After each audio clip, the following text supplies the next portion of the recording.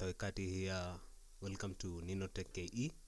So today we'll be converting PDF to Word document so that we can be able to edit our document. So the document is right here.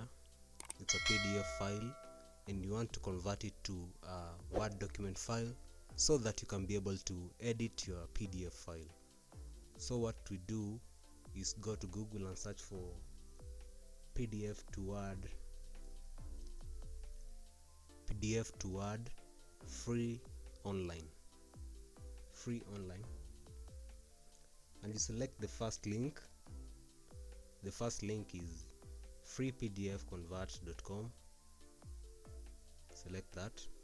Then you will choose your PDF file. So what you do is you can drag and drop your file or you can just choose your PDF file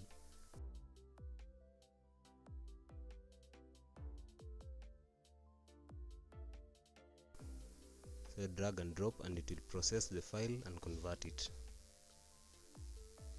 So there you have it your file has been converted. So you can download it. You can also sign up for this to use this app and convert many files as well.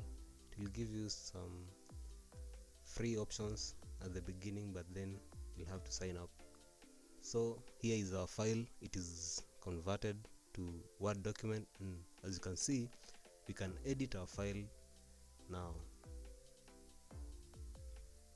This is a word document file from the pdf and it is able to we can be able to edit the file. That's our pdf file. And then this is the converted file side by side.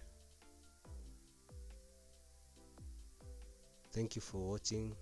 If you found some value in this video please remember to subscribe and like the video. Till next time stay tuned